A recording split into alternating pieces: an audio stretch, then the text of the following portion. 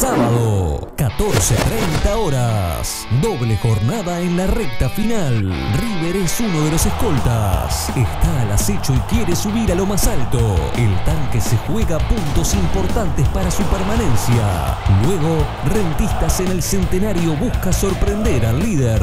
El carbonero no puede dejar unidades en el camino para seguir en la lucha por el título. Torneo clausura. River Plate el tanque Sisley. Rentistas Peñarol. Sábado 14.30 horas en vivo por BTV. Presenta Coca-Cola y Antel.